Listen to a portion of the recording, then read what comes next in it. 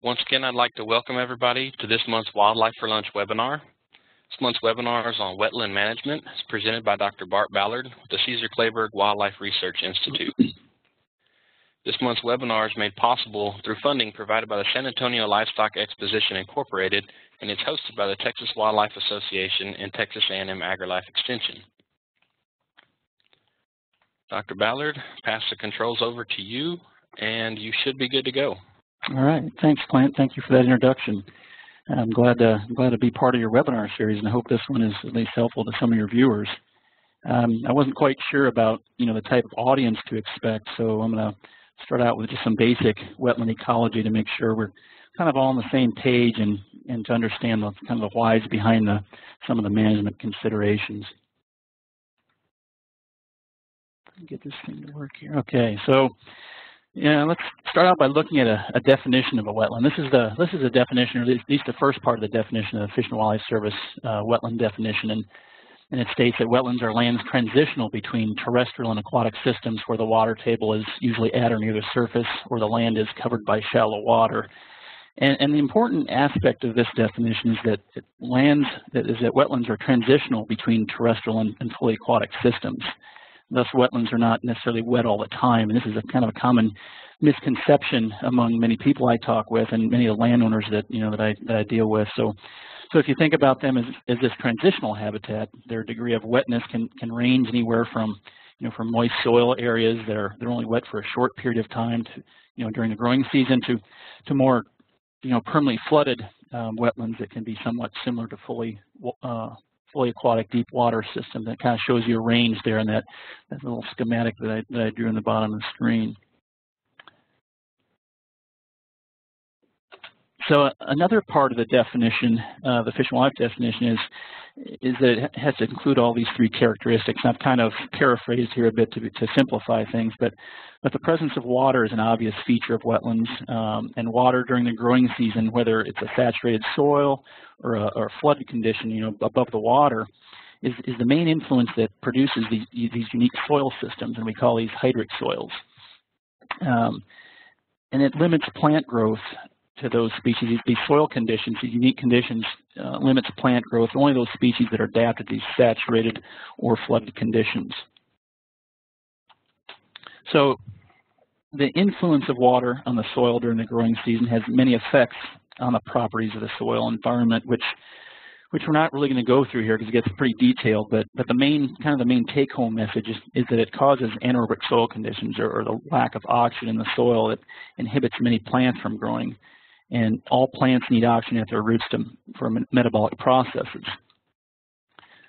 So if we look at a, a, a, typical terrestrial soil where oxygen is not limited, you know, the pore spaces, which we can see here in this little schematic, um, in the soil keep the, keep the plant roots in contact with atmospheric oxygen. And so oxygen moves freely between, between the airspace above the soil and the plant roots. When we add water onto the soil, it, it covers the soil and, and the connection really between the atmosphere and the, and the roots for all practical purposes is cut off. Um, and terrestrial plants, in fact, will die relatively quick, quickly in these conditions because of the lack of oxygen. So, so the there is still a bit of oxygen that comes down to the surface of the soil. You can see those little arrows there. There's a there's typically a film on top of the soil that'll be will remain oxygenated for a while, and that's why we see a lot of plants with kind of these laterally growing roots. They take advantage of of that soil at the surface. That's one of their adaptations. So wetland plants, on the other hand, are are able to tolerate this. They they have adaptations. Uh, and they've adapted many ways to transport oxygen to their roots um, some of them are, are, relatively common among wetland plants, but most of them revolve around ways that they transport oxygen from aerial portions of the plant through the plant itself and to the roots. And thus, you know, they're no longer relying on oxygen in the environment around the roots. They're actually facilitating the oxygen from the atmosphere down to the roots themselves. And different plant species have different capacities to do this, and therefore have different tolerances to these anaerobic conditions and, and these hydrologies. So the hydrologies, as you're going to learn here, these hydrologies have a huge impact. These differences in hydrologies have huge, huge impacts on the resulting vegetation. So then you have plants that, that vary greatly in, in, in, their, in their structure and, and how they grow. You have terrestrial plants, or I should say emergent plants that are more, much more terrestrial-like. Um, it shows some bulrush up in the top there that, that um, are rooted and grow out of the water. Um, and, and, even among even among emergent plants, there's great variation in their tolerance for these anaerobic conditions and flooded conditions. Um, and you have those that require more flood duration and, and, longer or deeper water, like the, the, submerged aquatic there, the widgeon grass in the bottom left, and the, the, the rooted floating leaf there in the bottom right. So um, definitely adapted for different different hydrologies. And so there's a there's a few aspects of wetland hydrology that are really critical in understanding of wetland management or standing and how it relates to the what's going to happen to the plant community. Um, one is uh, the duration of inundation, uh, the amount of time that a wetland basin has saturated conditions or standing water. This has a huge influence on the, the degree of, of oxygen or the anaerobicity or the degree of oxygen in, in the soil. In general, the, the longer the flood duration, uh, the less oxygen is available in the plant roots and, and fewer number of plant species can tolerate these conditions, the, the longer and longer the flood duration. Uh, thus, if you think about that, that transitional habitat, that diagram I had in that first slide, the closer you get to that terrestrial system, the more species that will be able to tolerate those conditions. It's more like terrestrial. There's more, there's more oxygen available at the roots. Another one is depth of inundation. This is often correlated with duration of inundation. Usually deeper waters have longer flood durations, but even so, different species have different tolerances to flood depths as well. And many emergent plant species cannot tolerate very deep, deep flooding. Um, whereas species like the submerged aquatics that, that I showed you earlier need need relative uh, deeper water to to, supply, to supply or to provide supports to the plants. Also, areas where where depths are too deep, you know, six foot or over, say, uh, photosynthetic activity uh, is is pretty difficult to to to happen at that depth of water because of the penetration of sunlight. So a lot of those areas will remain unvegetated. The timing of inundation relates primarily to, to germination and, and influences uh, many, many of the environmental factors that, that stimulate seed germination um, across the growing season. And we'll get to that a little bit a little bit later in more detail. The frequency of inundation is, is kind of a double-edged sword, and it and how it influences plants. And and when the frequency of prolonged inundation is high, then it has a similar effect to the duration of inundation. Um, however, you know, if the frequency resembles a a pulsating hydroperiod where there is kind of ample time that the basin is, is dewatered, then the, this usually provides very productive situ situations where, where a lot of nutrients are coming in with the with the pulses of, of water, and the, and the drying time allows decomposition and aerobic conditions to occur. So so this sort of this sort of hydrology really results in, in high primary productivity. Flow patterns relates to the turnover of water through a wetland and how open that wetland is to the, the different hydrologic pathways, bringing in, in water and taking water away from, from the wetland. And typically the more open a wetland is, or the more flow it has, at least to a degree, um, the, the, more plants can handle it because there's you know dissolved oxygen coming into the, into the wetland. And also related to this, certain pathways uh, provide more nutrients than other pathways. Overland flows and tides, for instance, if those are available to a wetland, uh, typically provide much more nutrient uh, nutrients coming into the wetland and and and uh, for the plant plant growth.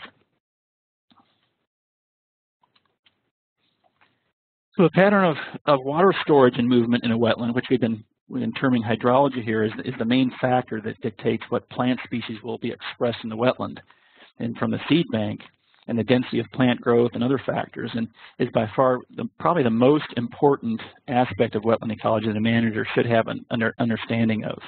Um, even subtle changes in, in hydrology can result in large changes in vegetation community and that is why wetlands are, are really so dynamic compared to terrestrial systems in our in our a lot of our water waterfowl and waterbird research that we conduct, we're often classifying wetlands every time we're out on a site because it's just so dynamic and they change so readily.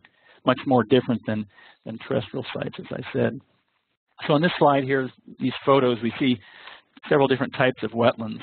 uh, very different plant communities as a result of very different hydrologies. In the top left there, you see a wet meadow habitat type with saturated soils and very short durations. And, and most of the plants that grow in this are kind of facultative wetland plants, very much more terrestrial-like than, than, than a, uh, a deeper, a deeper uh, and longer hydro period that you find down like in the very bottom photo where you have more open water and submerged aquatics growing or the middle one to the right there where you have all the, the floating leaf plants. Those have similar hydrologies, much deeper and much longer, long, longer flood durations. And then, then it ranges to the estuaries on the top right, which, which has high flow patterns, considerable nutrient inputs, and, and, and really high primary productivity, and, and uh, uh, definitely definitely different than the than the other um, the other wetland types.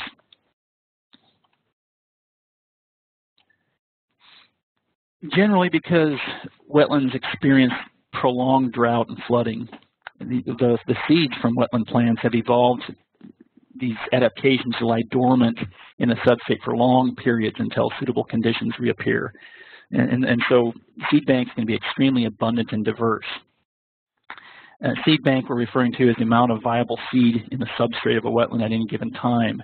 And because many wetland plant seeds have evolved to survive these long periods, and because various seeds have different environmental cues they're looking for in terms of germination, the plants growing in a wetland at any one time often are just a fraction of those in the, in the seed bank. So if you look at a wetland, you see the vegetation growing um, most of the time it's probably just a fraction of the species available in that seed bank, and they just haven't been expressed yet because the, the required germination cues haven't been haven't been uh, reached for those plants.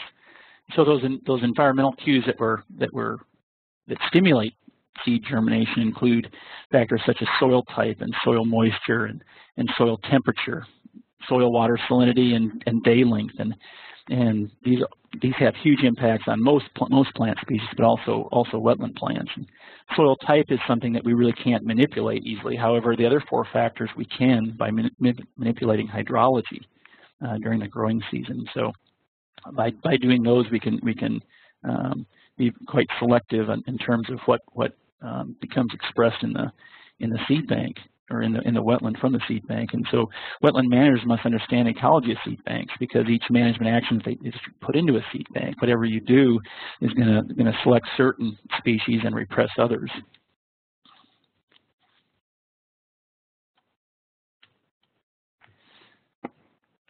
So requirements for establishment of propagules from from seed banks kind of fall into two categories. Uh, those species that can establish only when where there is no standing water, these are primarily the emergent plant species, um, and they usually establish on mudflats, and, and more aquatic species that, that can establish when where there is standing water. And this, this includes some of the submergent plants, the free-floating plants, the rooted floating leaf plants, and so forth. This this wetland here in this picture is experiencing a drawdown. And this is this is in in relatively early spring, and and what I mean by a drawdown is it's being it's being drained either naturally or or or uh, by someone doing it. Um, and as you can see here from the arrows, you can see as soon after the substrate is exposed to, to sunlight and oxygen, you start seeing these emergent plants start to germinate. And, and like I said, you can see those under the red arrows. And so in regards to um, in regards to emergence at least, these drying periods are, are, extremely important for, for germination of plants. So when we think about the different communities, at least in regards to providing wildlife habitat, the emergent plant community is by far the, the central feature of wetlands, and, and, they are typically the focus of our management. And for, for for many reasons. And, and I'm going to put this in kind of in, in wetland bird perspective because that's what I deal with, but they provide a lot of different services to wetland birds. Uh, for instance, they provide structure and seclusion for nests, and not even for not only for wetland birds, but there's even a lot of terrestrial birds find refuge and protection in these emergent stands because uh, because it's over water and, and, and less predators are going to access it. Uh, Emergent vegetation also provides escape cover during the brood-rearing period. When young water birds are vulnerable to predators, it provides escape cover for adults during the wing molt when, when they are quite vulnerable because they're flightless for about five weeks um, after the breeding, breeding period. Provides can provide protective cover during inclement weather and strong winds and, and so forth. And, and even safe roost sites for, for a lot of species. They, they, they roost down there over water and can be very protective just, just as it is for nests. And they also provide food, either directly from seeds or indirectly as a substrate for invertebrates. So very, very important feature of wetlands. And it has been found, you look at some of the early work done on, on some of the, the prairie marsh ecology, um, at least with birds, the highest, the highest wetland bird diversity occurs when there's a ratio of about one to one between open water and emergent vegetation. And as we kind of covered or talked a little bit about in that previous slide is most emergent plants require exposed substrates for seeds to germinate. So we often will, will conduct drawdowns during the growing season to promote their germination. And not only is the drawing of a wetland uh, basin important for the establishment of these emergent plants, but also for things like decomposition and nutrient cycling in the wetlands.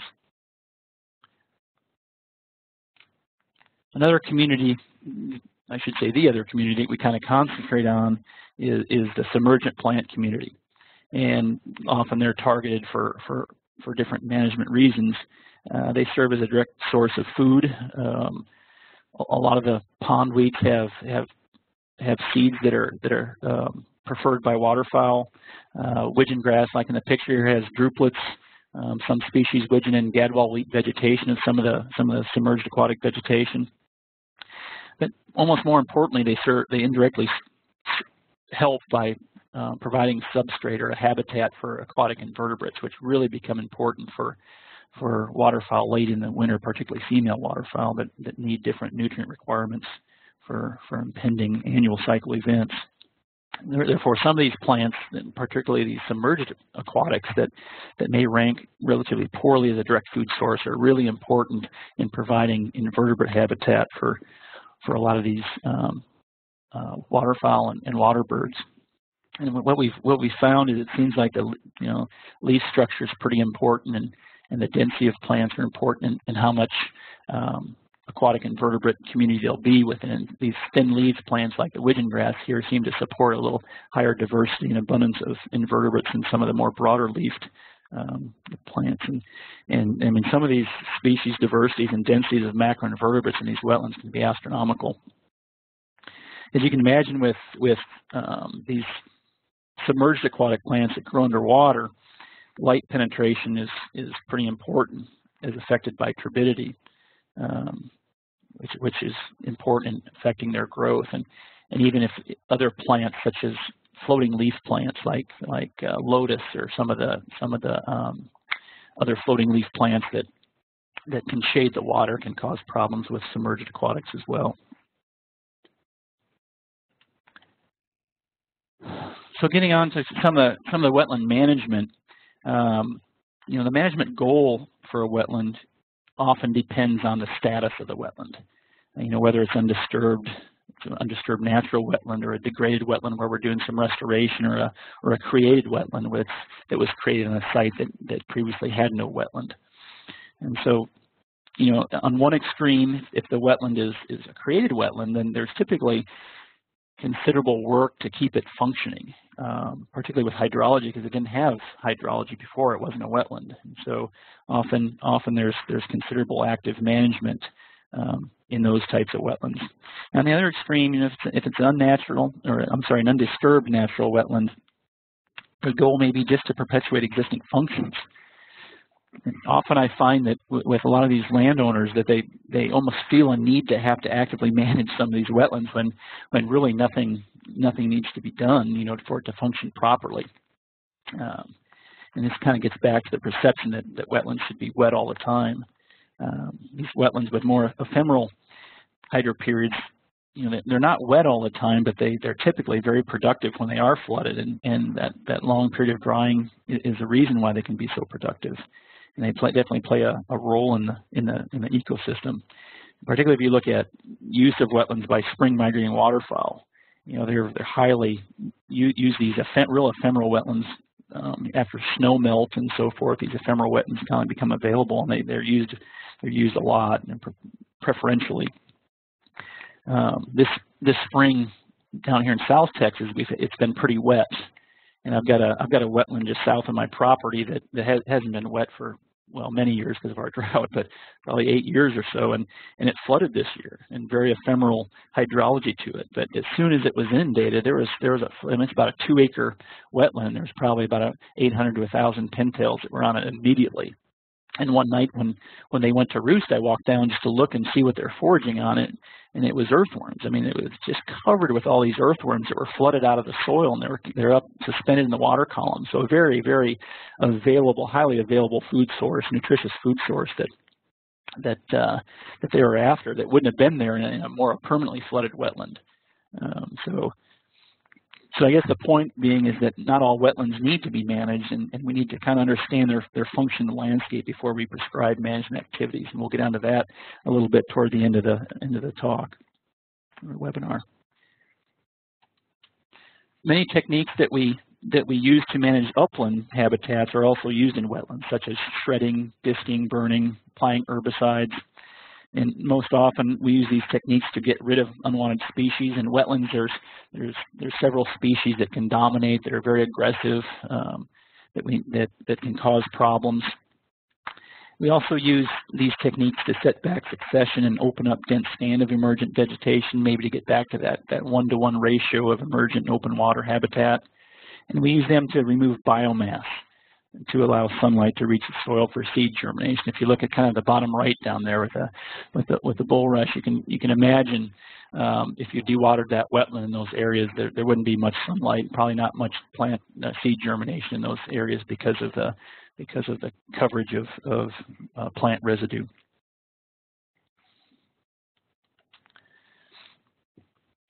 We also use levees and control structures to to manage hydrology.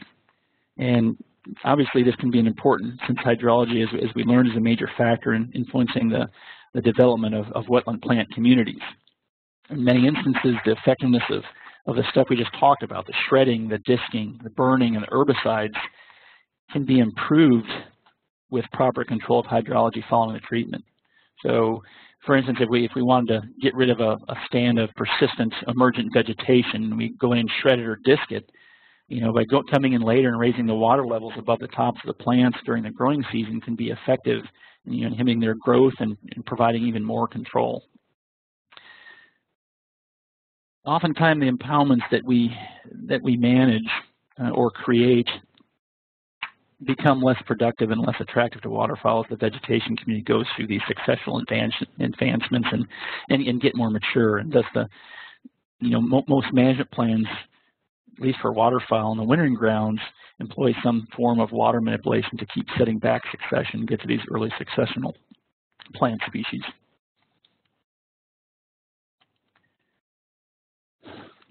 So in terms of waterfowl, uh, the resource needs of waterfowl change throughout the year and are mainly driven by their needs during these, these specific annual cycle events. And so our management is directed towards those needs and differ throughout the annual cycle.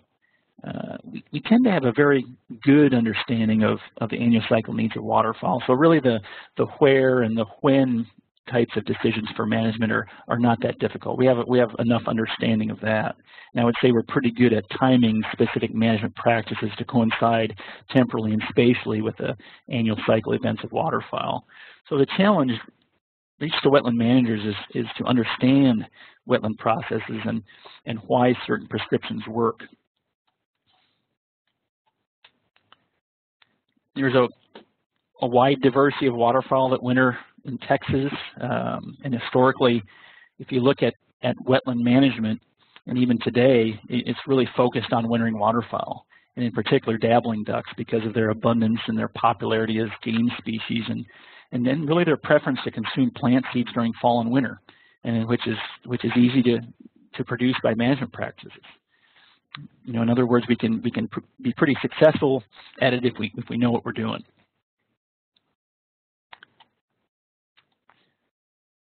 So the primary need of, of waterfowl during fall and early winter at least is energy.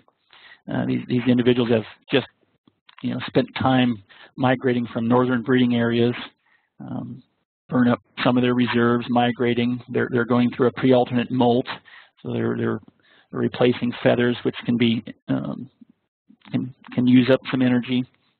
So they search out sources of, of high energy foods to replenish their reserves and plant seeds are often the main high energy food for many species of waterfowl. Um, a common management practice for migrating and wintering waterfowl is providing abundant seeds through what we call moist soil management. And this practice manipulates hydrology to promote emergent plant growth, primarily mudflat annuals, and these plants that produce lots of seeds. Mud, these annuals produce lots of seeds. So uh, the, the techniques vary regionally and from site to site based on differences in soil type, differences in the, the natural hydrology, or the ability of the, of the landowner to manipulate hydrology.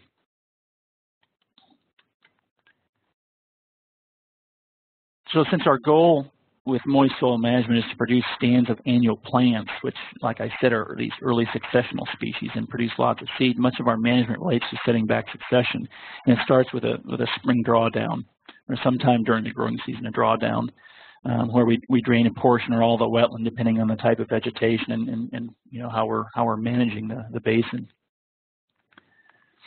Um, if there's if there's woody plants or if if some of these more perennial emergent plants take over. Usually the drawdown period, once the soil dries, is a good time to get in there and do some mechanical treatments to set those back and, and either disc or shred. And the reason that we, we promote these early successional vegetation communities is that the energy at this stage of succession is, is ready, readily available. And it's, it's really not tied up in biomass like it is in later successional stages when you have a dominance of these large macrophytes. Also, the plants that are produced these annuals, um, they're prolific seed bearers. And, and so unlike perennials, they must establish themselves each year. So they produce a lot of seeds just because of that life history trait. And we've also found out that seeds produced by annual plants are typically more preferred by waterfowl than, than most of the perennial, uh, perennial plants.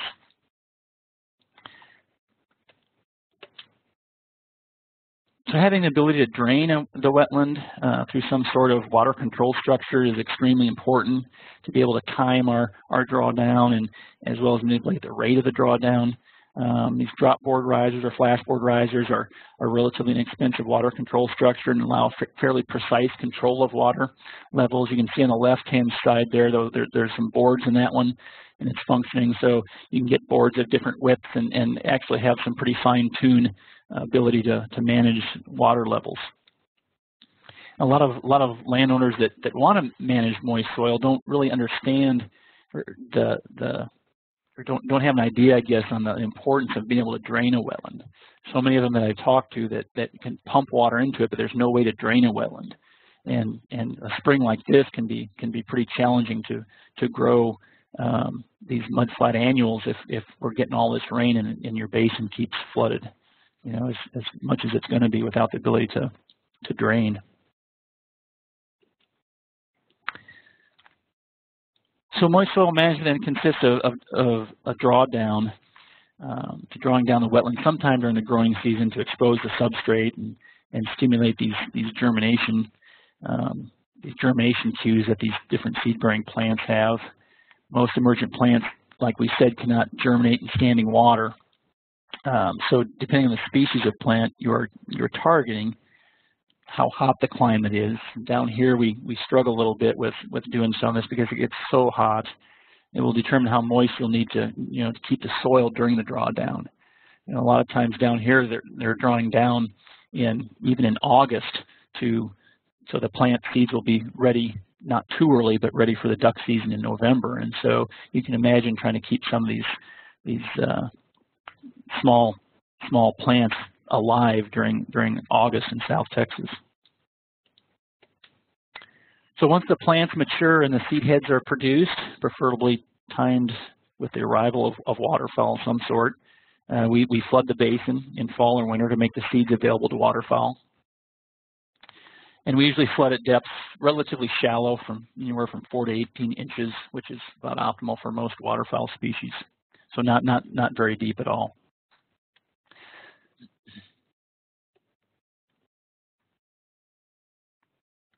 Sometimes when we when we do a really good job at moist soil management, we can get really thick stands of, of emergent vegetation, like this stand of, of smartweed here.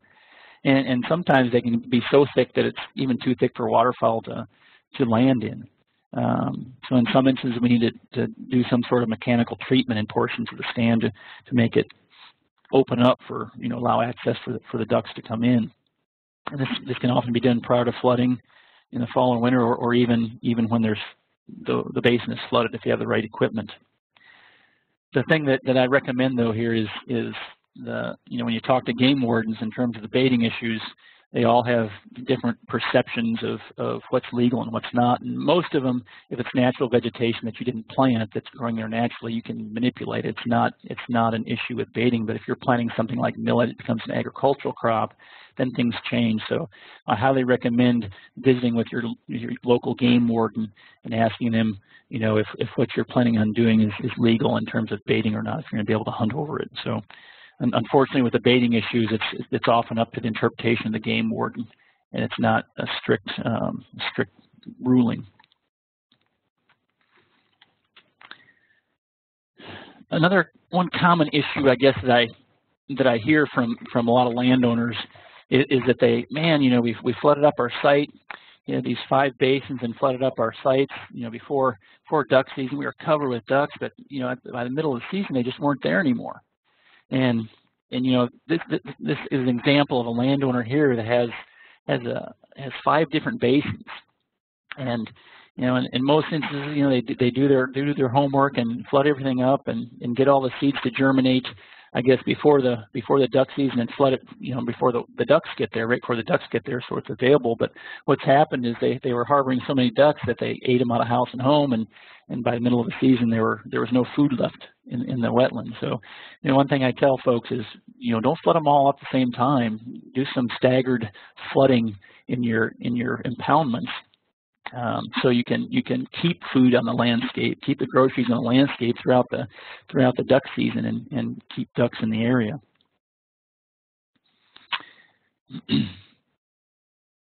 another another I guess another thing to think about in some of these plants, like we, we just talked about smartweed earlier. So that picture of smartweed is is some of these plants like smartweed have have a lot of seeds available over a large vertical extent of the plant. Of these plants grow pretty tall, and, and another way to keep food available is to, is to flood up through the plant during the season. So early on, make make uh, make the lower parts of the plant available to ducks, and, and the upper parts won't be available. And then you can keep bringing that water level up throughout the, the duck season, and so it, it exposes, it makes available different levels of the plant, and, and keeps and keeps food on the landscape for you.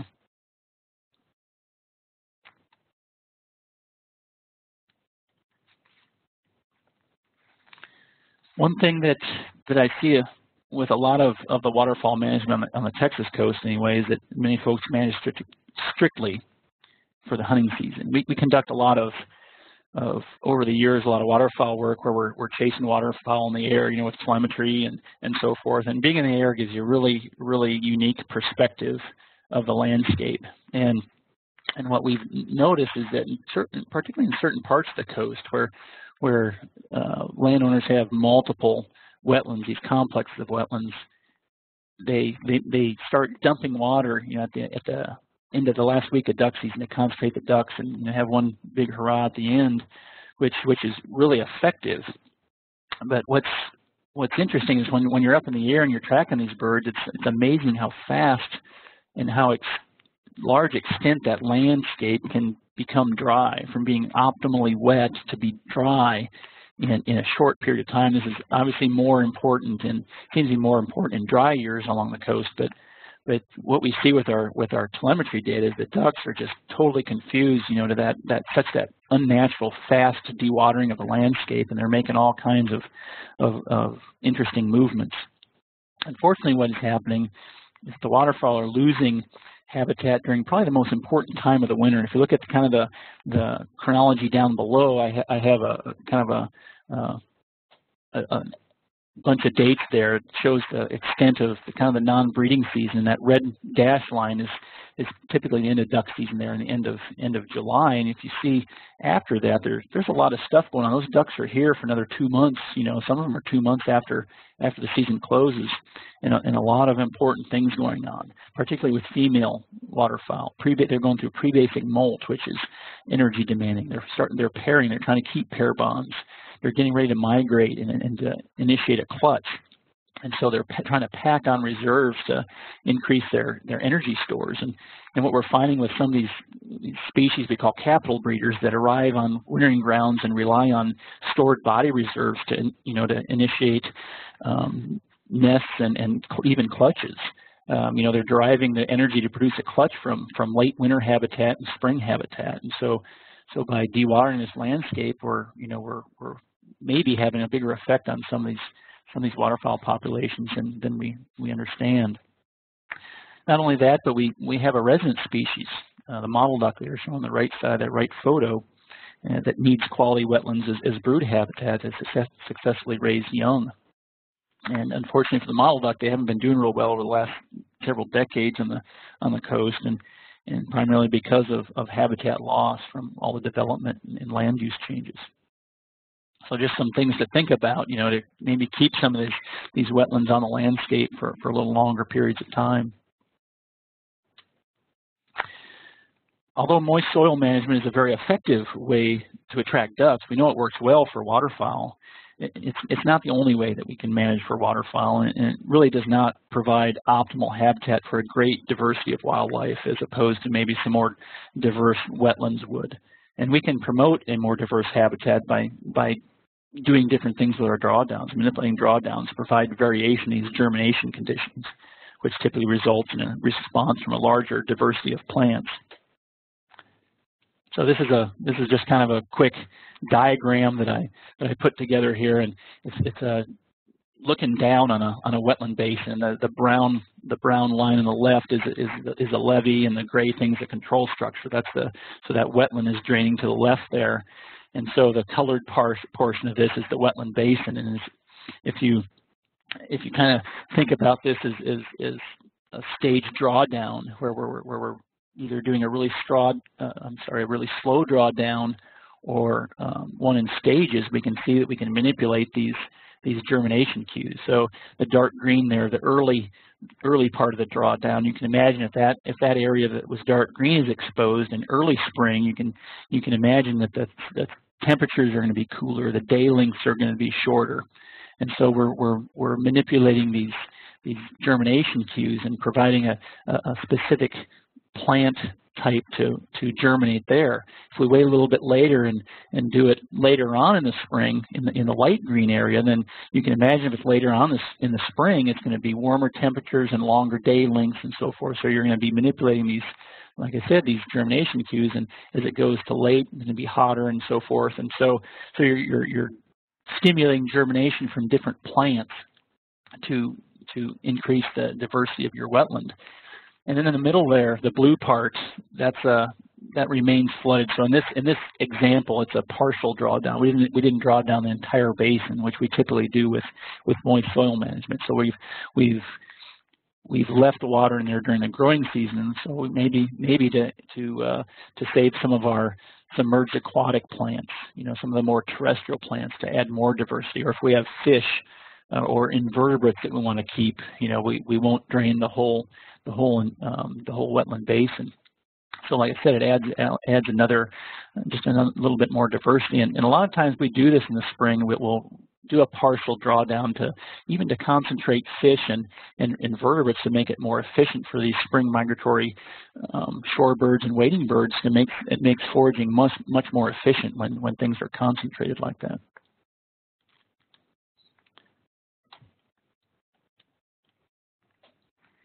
So the last thing I, I kind of want to I want to discuss here is, is managing in, in wetland complexes, and and just give a little different way we think about even a single wetland on our property. Um, different wetlands will provide different ecological services and likely provide unique habitat for different species or, or maybe fulfill different annual cycle requirements for certain species. And if you look here at an example with a mottle duck. Um, they, they have very different habitat um, habitats they use during different parts of the annual cycle. If you look at pairing in you know late February and March and early April, when when the ducks are courting and pairing, they're, they're usually you usually find them on these small isolated wetlands. They're trying to trying to remove themselves from from all these other ducks that are down here that are getting ready to migrate back. And you'll find them in road ditches and these little dinky wetlands are no bigger than your office or overflows from, from windmills or whatever it might be. And they're just trying to be secluded and, and be able to pair and, and, and not be disturbed. And then during brood rearing and molting, you typically see them in these wetlands with a lot of emergent cover and, and, and good stands of, of both emergent and submergent vegetation because, the, like we talked about early, earlier, the emergent vegetation provides cover for the, the ducklings and the, and the molting adults because they're, they're vulnerable to depredation, and the submerged vegetation provides a lot of protein-rich um, invertebrates that that's important. That's a macronutrient that's really important when they're growing or, or replacing feathers. Then in the wintertime, you see them move into the coast more, or their, their wetland wetland choice is a little more a little more open, but they'll typically move more toward coastal areas that they really can't do during the brood rearing period because ducklings have a have a tolerance of, to salinity. So if you if you see the, the benefits of a diversity of of, of wetlands, you can see that um, not only to fulfill requirements of, of different species, but but also to fill varying requirements for a single species in cases where a, a land manager has a complex of wetlands ac across, uh, you know, relatively large landscapes, they are better able to provide, I guess, a diversity of wetland types to, to support a diversity of wildlife. And if that's your if that's your goal, then then these complexes and kind of managing and thinking about your wetlands in these complexes is, is much much more profitable. So understanding the, you know, how the wetlands you manage fit in the landscape is another thing a lot of people don't think about you know, improve your, you'll definitely improve your responses you get from wetland-dependent species. You know, for instance, if, if you provide um, some kind of agricultural crop, say millet or something, in a landscape that's full of, of agricultural crops, then it may be less valuable than providing a wetland that has natural vegetation and submerged aquatics to provide you know, invertebrates to complement these high energy foods. So understanding, you know, what's what is happening around your property can be can be extremely beneficial. And if you know any really effective refuge biologists, these folks are usually really on top of that. They have good relationships with their neighbors. They have a good understanding of what's going on around them, and they use that information to really help guide their management decisions on the refuge.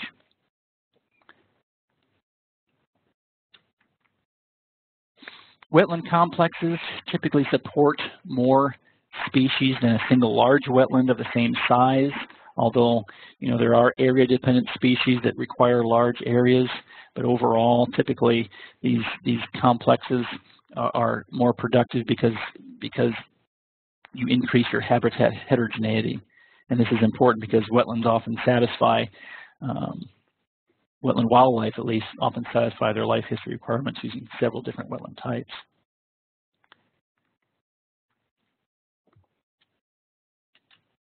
So some kind of some final thoughts here, uh, a couple of slides here just to kind of kind of think this through.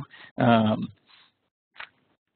you know, an understanding of wetland processes and the ecology of plant animal species that you're targeting for your management is, is really important. And this will provide you with the, really the knowledge of, of why a specific management action works or didn't work, and not really just the how, you know, how to do it and, and you know, these how-to approaches is sort of like a hit or miss strategy that that will mostly be ineffective, except when you get lucky and, and you know hit the conditions just right one time or, or a few times. You know, for instance, having the knowledge to time your water level manipulations based on the phenology of the plants and animals you're targeting is more important than, than strictly calendar dates. And so that, that, that's kind of the, you know, one of the big take-home messages. You really understand the why things work, and that I think that's missing a lot in, in, in when we when we manage wetlands. We can always implement management to enable, you know, a little bit better, I guess, a little bit more diversity to enable multiple species, um, or to benefit, I guess, multiple species of wildlife. Um, typically, about providing more complex and diverse systems uh, that you're if you do that, your wetland typically is more complex and, and a little bit more resilient to unplanned disturbances as well. Um, if possible, think about the landscape. You know, think about how your wetland fits into the scheme of things, and I think that will help in terms of your wildlife use and provide you more of a holistic view of, of, of your of your management. And also monitor your management activities.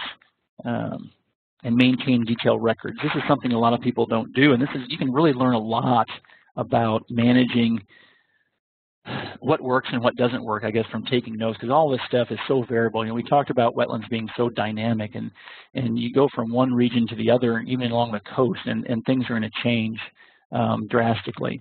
And so, by keeping these these detailed records of what you did and, and, and what the responses were, allow you to better understand why your management actions worked and, and help improve your habitat and, and wildlife responses to your management in the future. There's, there's, you know, just kind of sum up here, there's, there's several, several entities in Texas that provide landowner assistance, whether it's through um, kind of some cost sharing ability or, or just technical guidance you know, Ducks Unlimited, Parks and Wildlife, the Fish and Wildlife Service, and NRCS all have very capable folks. And and depending on where you're at in the state, you know, your local guys are the ones there, the ones out there dealing with this, and they're the most knowledgeable for what works in your area, and and um, give you some good recommendations. And they can do things, you know, like if you're constructing a wetland, you they can do some some pretty high tech engineering and really help you um, make your make your wetland project be successful. So with that, that's that's the end of my presentation, I'd be happy to answer any, any questions. Thank you, Dr. Ballard. Uh, we had a few questions come in that I'll get to just one second. I would encourage anybody, if you have any more questions as we go through these and answer these, uh, please post them up. We've still got some time to, to get to them. So the first question is how detrimental or beneficial are invasive species to wetland restoration projects? Well, yeah, I mean they can be really detrimental. You get you get some of the salvinias, or um, you know some even some of the the purple loosestrife or something that takes over a wetland. They're, they can be very very hard to control, um, and a lot of it is is you know based on just having the ability to to control hydrology and and some of it's going to be, you know, just hard work somehow removing them physically, uh, particularly things like the floating, you know, the free floating plants like Salvinia, they can be really, really hard to get rid of. And so, yeah, it kind of depends on the, you know, on the situation, I guess. Uh, but but um, you know, there's there's successes. Uh, again, you know, talk to some of these folks uh, that, that deal with this in your area. You know, we have different different plants that provide, you know, different problems in different areas. So um, your local your local folks there are the, are the ones that, that have the experience in that. Okay, the next question, this gentleman says he's interested in managing for fishing purposes, usually deeper water, with waterfowl as a secondary benefit. Is there a way to balance the two? Oh yeah, yeah, sure there is, and, and you know that's kind of that that, that end there where we're talking about diversifying the habitat. I mean, you're not going to maybe pack them in and have the density of ducks in some of these deeper water habitats, but you're going to get a, you know, you get a wider diversity of ducks potentially. You can get more diving ducks in these deeper water habitats, and we have ducks that, you know, that that feed on on um, some of these submerged vegetation. That the, they dive down and feed on in the benthic part, or they chase fish, um, you know, small bait fish and so forth. But but you know, if you can if you can manage part of your wetland where some of it's shallow and, and get some of these more seed-producing plants, you know, in the periphery, and, you know, sometimes that that is a drawback to fishing if you're fishing from the shoreline. So it kind of depends on on how you fish and how you see using it. If you can, you know, bring one end of your wetland that that you can you can um, have maybe more shallow water and bring in some dabbling ducks and produce some more food. Um, then then yeah, definitely that's that's a beneficial. And, and I work with some landowners that that do that very successfully. Okay. The last question we have right now is what type of connectivity might be needed between these small, more isolated wetlands in terms of management perspective? Okay, um, I'm not, not quite sure if I totally understand, but you know, birds most of our management, at least that I do, is for birds. Most people are interested in birds, and and the reason birds are so successful in wetlands and these dynamic systems is because they're highly mobile. You know, they they can fly, and so and so the distance between them um, isn't isn't quite as important as say like herpetofauna or some of the some of the wetland dependent mammals that need them that need them uh, you know a little bit closer. So it kind of depends on your depends on your objectives and what you're trying to trying to manage for. Um, I guess I'm not not sure I answered that totally totally um, the way that they were looking for, but okay. And we've still got a little bit of time. Uh, let's see, Rebecca, if you're still on, if you'd like to me, elaborate a little bit. Uh, let me let me elaborate a little, just a little bit more. So, you know, part of it too is understanding what species you're targeting. And so, you know, if you're targeting, let, us say, a, uh, you know, a, um, just, just to say waterfowl, we're targeting waterfowl, and so we know waterfowl need a protected roost site, and a lot of times these roost sites are a lot different than foraging habitat. And so, you know, we'll, we'll have to see kind of how, how a roost site fits into things. And, and in a lot of areas, if they don't have a roost site, you're not going to have many waterfowl in the area. You know, they're only going to fly so they're mobile, but they're only going to fly so far where it's energetically efficient for them. And so, you know, having a roost site, having different foraging opportunities. You know, they're they're eating these seeds um, seed production is really important early on in the winter, in the, you know, in the fall and early winter. But later on, they're starting to, you know, they're starting to move to these more um, aquatic invertebrate diets, particularly the females. And the males are following the females. They pair during winter. Winter um, waterfowl are a little bit different that way. They pair during the winter, and, and the male follows the female back to the, to the breeding grounds. And so, so he's following her around, and she needs, you know, these high protein um, sources. And so, you know, areas that, that aren't these, maybe these shallowly flooded areas, maybe a little longer flood um, flooding duration that, that has a lot of emergent vegetation, you know, close by where they can kind of capitalize on that and diversify the, you know, the, the macronutrients they're, they're extracting from the environment. So just, you know, thinking about the ecology of the species and, and, and, and kind of um, deciding what they need from, from that. Okay, it looks like we had another one come in. Uh, a couple more. What is a good guide for identifying wetland plants? Okay, so uh, Stutzenbaker came out with one on the Gulf Coast. Um, that's probably the best one for Texas. It's a it's a little cumbersome in a way because it's it's divided up in flower color, but it's it's actually a really good really good resource um, for Texas because it, it, it gives you a wildlife value of the plant as well as, as you know other things. And so it's it's a Parks and Wildlife publication. And I know they just they just did a, a, a, second printing of that here recently. I don't think it's in color. The original printing was in color, but you can get online and, and look for that, that wetland plant guide. And, and uh, I'm pretty sure it was Charles Stutzenbaker was the, was the author of that. Okay, and the last question we have, how many plants can a wetland have before it detriments the fish from an oxygen standpoint? Mm, well, um, that's a, that's a that's a tough one there. I mean, I mean, the the oxygen in the water is going to be a little bit different than the than the oxygen that they're sucking out of the, the substrate. You know the plants are using the substrate, and a lot of times these these plants are actually increasing oxygen in the water. And so if you see if you see a lot of these serious guys that are that are you know have fisheries, they have some sort of oxygenator in the water, um, you know, that help oxygenate the water.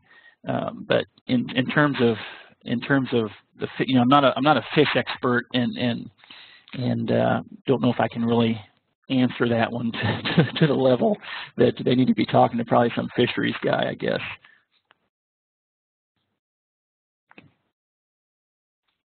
Okay, um, let's see. We've had a project for five years in an old rice field in the process of draining it slowly. Would it be beneficial to disc strips or just leave it alone? Say, say that, say that, read that one more time. This gentleman has a project, uh, it's been a five-year project in an old rice field, and they're slowly draining it down. Would it be beneficial to go in and disc, disc strips in it, or just leave it alone and let it do its own thing? if they're if they're worried about um, you know getting plants to germinate, I would say it would be dependent on how much residual cover you have in the wetland. You know, if it's if it's if the sub substrate's really covered with with debris, um, you know, the problem with with flooded conditions with that loss of oxygen is that the the, the um, microorganism community changes, and, and those anaerobic microorganisms are really inefficient at breaking down um, organic matter. And so, and so we have, you know, one, one of the advantages of dewatering these wetlands is it allows air back in, and you get these aerobic microorganisms that, that can, you know, that can break down um, detritus about 10 times faster. And so um, I, I, guess it depends on how much residual cover you have covering the soil um, to determine you know what you need to do with that. And and I mean disking disking probably won't hurt it by any means. Um, um, you know, it depends on your your kind of your seed bank. You got a good got a good seed bank there. If you're going to plant it anyway, then then yeah, then then seed then disking isn't going to hurt. Shouldn't hurt anything. But mainly, I think the disking is just really, you know, to me, is just getting that residual cover broken up and exposing that soil so it can be exposed to those environmental those environmental cues that those plants need. We had one more question come in. We'll consider that our last one for time's sake. Uh, we, how would you moderate your wetland management response following a natural disaster such as a hurricane so that you don't, quote unquote, over-respond to a natural process? Right. Yeah, that's a good question. You know, if you look at the at the coastal marshes, you know, of the upper Texas coast and, and even in Louisiana where when Katrina came in and, and even Ike came in, you know, there was high storm surges and, and just, you know, at the time looked like it just decimated that that coastal marsh area. I mean, if you look at that marsh now, I mean, it is so much more vibrant. It, it really, it really did a lot of good by removing a lot of that organic, that, that biomass, I guess, that plant biomass. And that's, you know, that's what we do with a lot of these disturbances is it removes biomass. It's the main function of disturbances such as burning and, you know, and so forth. And, and so, yeah, it, you know, it depends on the natural disaster and what it's done to the wetland. And, um, you know, if it's, if it's, yeah, that's a that's a tough one, you know, because just with wetlands, there's so so many different op options that we could that I could come up with that would you know I'd provide different responses to. But you know, I, I would I'd just assess it and see what happened, and and as long as your hydrology is you know still functioning, the plants will probably respond um, to most of these natural natural disturbances. It didn't take very long after after the hurricanes either for that that marsh to really rejuvenate.